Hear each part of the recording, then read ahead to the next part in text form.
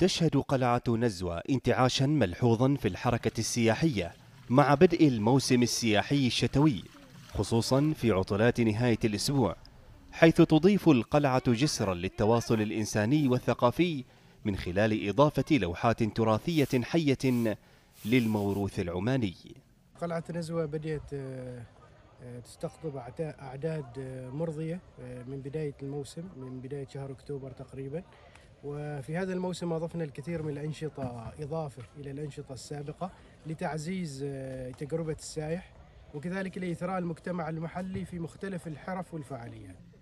يجول الزوار بإعجاب بين مختلف أركان هذا الصرح العريق التي صممت خصيصا لنقل المشهد القديم لحياة الأجداد.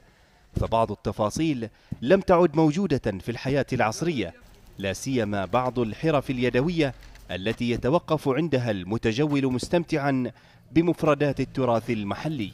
أضفنا كثير من ال- الحرف والأنشطة الزراعية اللي آه، طلعتوا عليها. آه، كذلك آه، في الكثير من التجارب أضفنا عنصر التجربة من للسائح يقرب الحرف الموجودة داخل القلعة بالإضافة إلى خدمات التغذية والوجبات تكون عمانية بأيدي عمانية من المجتمع المحلي.